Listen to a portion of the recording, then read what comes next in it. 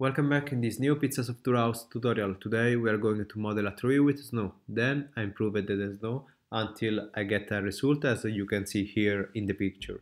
If you are interested to know how, comment on the video and I will make a short video of just 5 minutes on how to create a snow like that.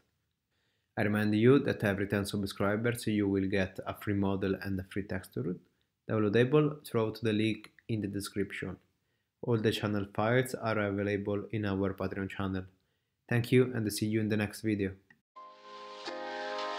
Imagine, if you will, sitting down to your morning coffee, turning on your home computer to read the day's newspaper. Well, it's not as far-fetched as it may seem. In fact, both local San Francisco papers are investing a lot of money to try and get a service just like that started. Science editor Steve Newman reports on one person already using the brand new system.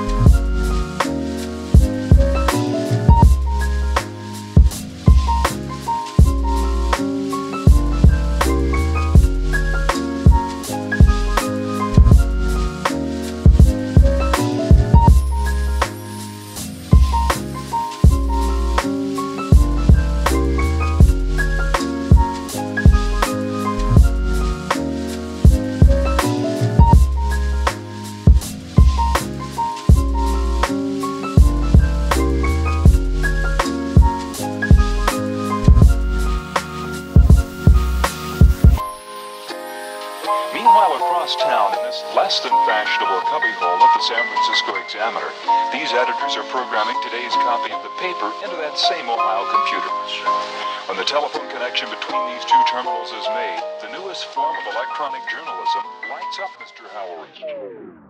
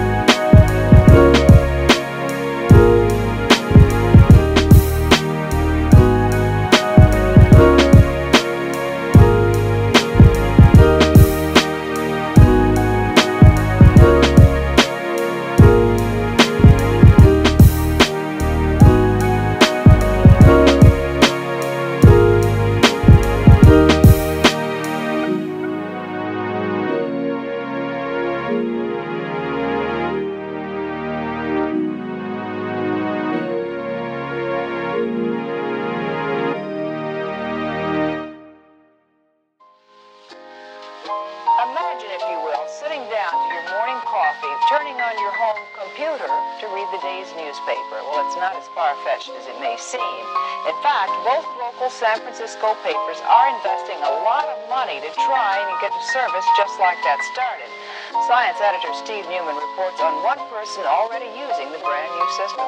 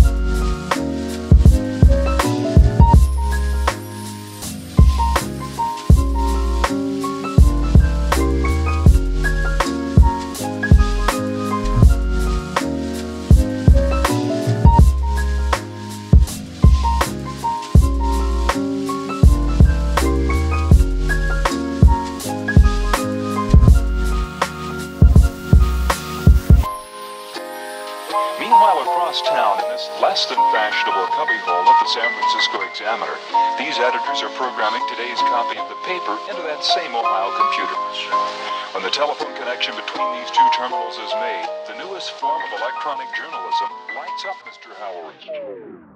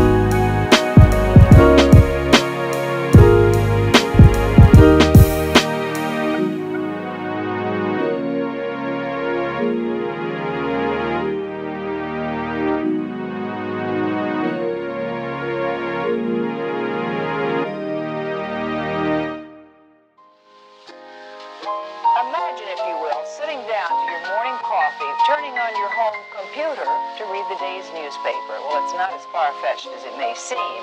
In fact, both local San Francisco papers are investing a lot of money to try and get a service just like that started.